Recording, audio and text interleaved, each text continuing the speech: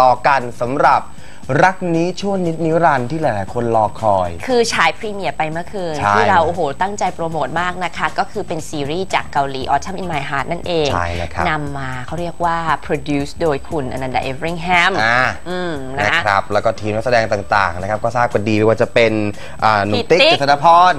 อ้อมสุชาอ่านะคะ แล้วก็นะครับหัวเรือใหญ่อย่างคุณพี่บอยอรรถพลณบางช้างเนี่ยก็มาควบคุม project แล้วคือ เมื่อคืนฉายไปเป็นตอนแรก กระแสดีมากคุณ คือคนก็ที่เป็นแฟนซีรีส์เกาหลีเขาก็ต้องเหมือนกับมาดูเพื่อที่จะเปรียบเทียบไงพอดูปุ๊บเฮ้ยมัน มันเยี่ยมอะแล้วภาพมันสวย ลงตัวดนตรีประกอบไพเราะประทับใจนะคะแล้วก็มีกระแสพี่ชายขึ้นมาเลยทีเดียวในใช่เว็บ ก็เป็นกันพี่ชายเออ แต่ละคนนี่ก็ชอบแล้วก็บอกว่าบางคนนี่อยากดูนะแต่ไม่ได้ดูเพราะไม่ได้ติดจานแดงของเรานะก็เลยแบบเอ้ยจะไม่ไหวแล้วกัดฉันเหรอ ไม่ได้พูดถึงสำเนียงไงของคนหนังเวลาเขาพากย์เสียงเกาหลีไงนะพี่ชาย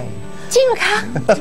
แต่เอาเป็นว่าถ้าเกิดคุณพลาดไปอะคุณก็สามารถดูได้ทาง YouTube นะคะ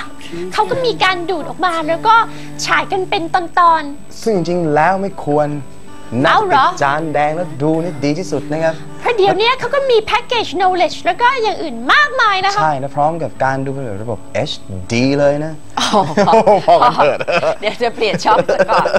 ติดตามกันได้ครับ ค่ะ น่าดูมากๆเรื่องนี้ แล้วก็อย่างที่อ่าบอกกันไปว่าภาพสวย ภาพสวยและอันนี้คือเราไม่ได้มาป้อยอคือคนน่ะเขียนชมกันเอง ใช่แล้วเราก็ไปเจอเราก็ปลื้มใจนะนะ ว่าผลงานเป็นหนึ่งจากผลิตภัณฑ์ของช่อง True Series ของเราใช่อืม แล้วนะครับ